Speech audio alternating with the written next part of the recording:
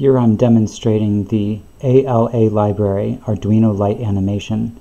There's three buttons. This changes animation.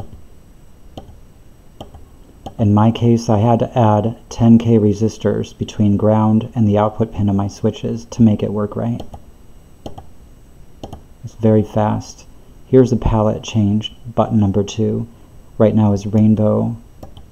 Here's a fire theme.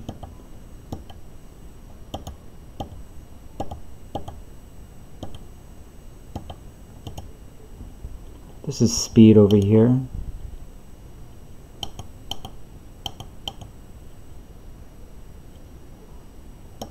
Faster. And all of these changes happen very quickly. I've tried other libraries and I haven't got the response that I was looking for out of them.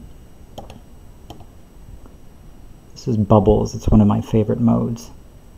If this was a long strip, the bubbles would slowly pop out and go bip bip bip and end up at the top. But since this is a ring, well, let's say I want it to go faster. And that's what you have. Let's do colors. It's a bunch of bubbles.